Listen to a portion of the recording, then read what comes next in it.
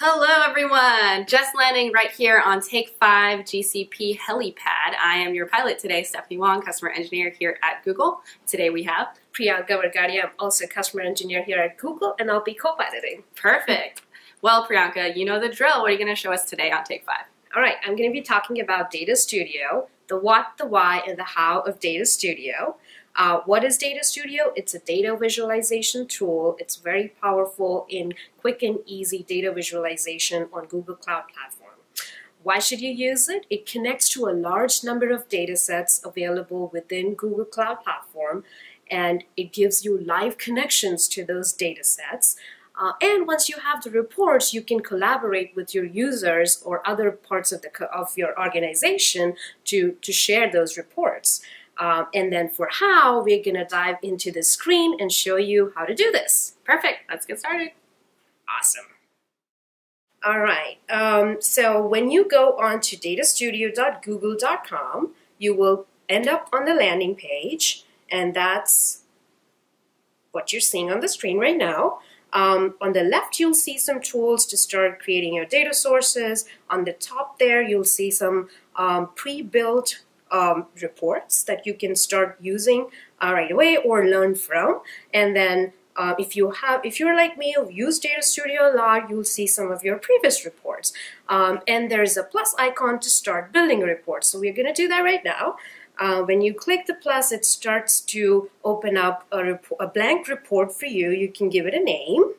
So we'll do that. We'll call it demo and then we'll keep it fairly simple. For any, any report that you want to do, um, you would obviously have to attach it to some type of data source. So when we click on creating a data source, this is where you see all the different connectors that I was talking about to connect to the different data sources.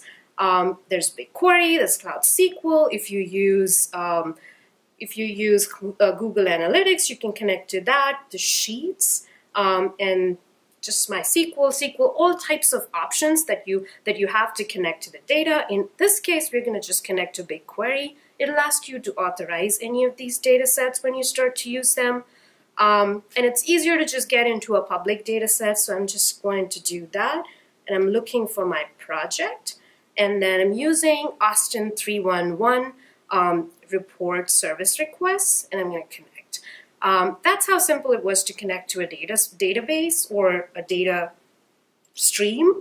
Um, and then once I do that, it starts to parse out all the fields and types and mm-hmm. aggregation, and it did that automatically for me, as you saw. I didn't have to do anything.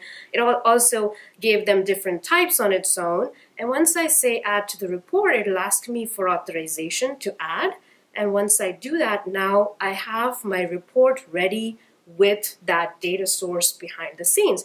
I'm going to quickly create a chart and you'll see that it tries to pull in and create a chart on its own. So what it did was it took a complaint description and created a pie chart to see okay there were there were 6% or 6.8% requests that came for loose dogs and then I can uh, I may be a person who's not interested in this and is interested in finding out what was the source of the requests. So in this case, uh, it'll give me another view of the chart saying most of the requests came in from phone.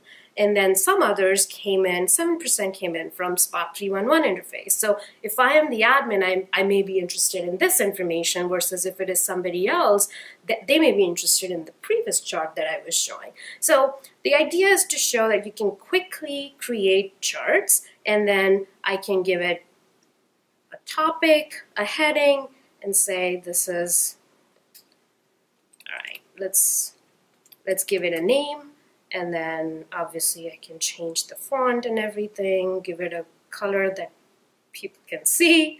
Um, and once I do that, I can start sharing this with my colleagues. And that's the cool part. You can now start to collaborate on the report and be like, this is this doesn't look right, or you want to see another view. You can start to share with your colleagues. And the one main important point that I forgot to mention in the why section of the reports is uh, these are live connections. So as you change the data in your backend, the report will automatically reflect that. All right, so that was how you use Data Studio. How was it, Stephanie? It seems super simple, easy. Pre-integration's already built into it, so no excuses, right, not to get started. Yeah. And it is free, so go ahead, get started. All right. Well, thanks everyone for joining. See you next time on Take 5.